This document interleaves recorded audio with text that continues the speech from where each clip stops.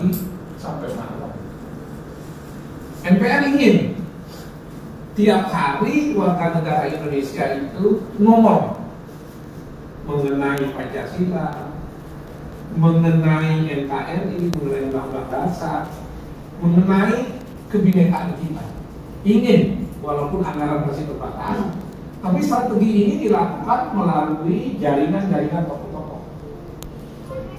Seperti Kasel di Barisadel dan beberapa panitia ini termasuk Pak Suryadnya yang ada di berbagai media maksudnya agar hari ini kita bicara buku ini dicetak dengan biaya negara tidak buka jangan sampai teman-teman nanti membawa pulang buku ini terus ditaruh di rumah. Baca satu-satu.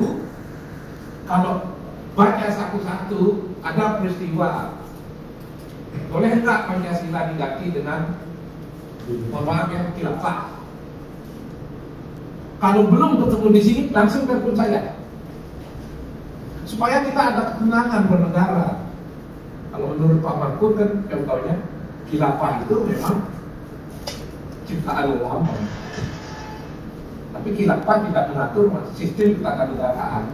Yang diatur malah sistem agama itulah. Contoh. Kira-kira begitu ya.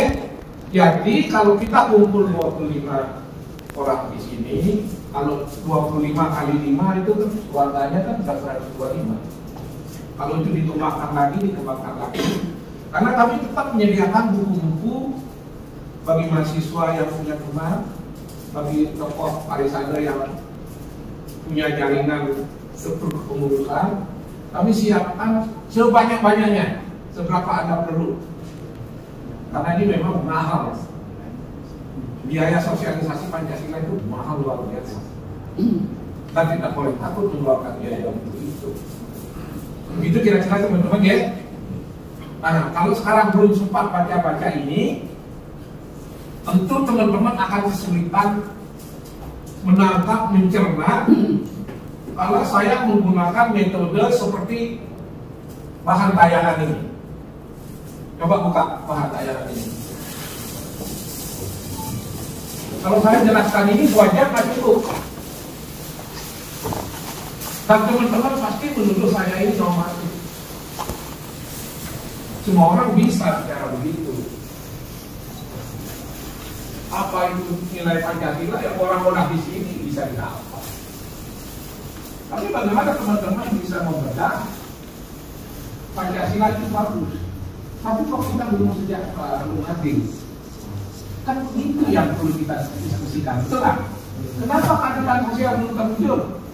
Itu yang kita perdebatkan sehingga teman-teman bisa memahami kalau belum terwujud apa sebabnya, kalau belum terwujud apa yang harus dilakukan oleh negara, dan kapan kita lepas dari kemiskinan dan nilainya ada di Pancasila. Itu sebabnya saya bukan menghindari tayangan ini, tapi saya minta tayangan ini dibaca. Tidak saya jelaskan nanti beberapa masalah-masalah yang aktual yang kita bahas betul nggak misalnya masalah pendidikan masalah korupsi. Kalau korupsi ditanyakan di teks ini secara umum ada jawabannya. Kenapa kita korupsi?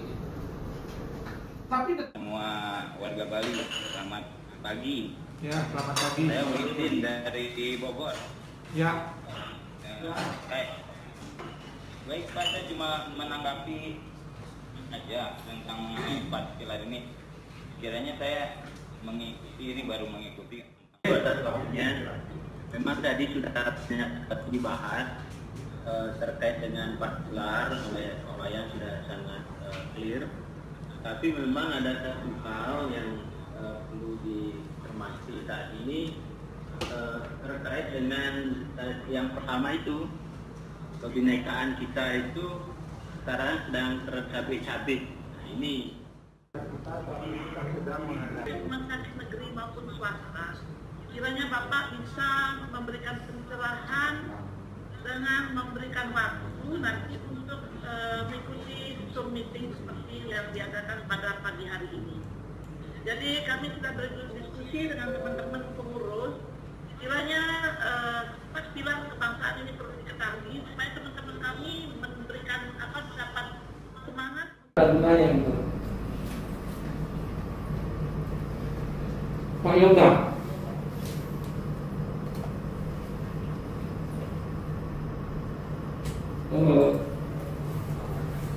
Apakah empat pilar itu bisa di- didiskusikan?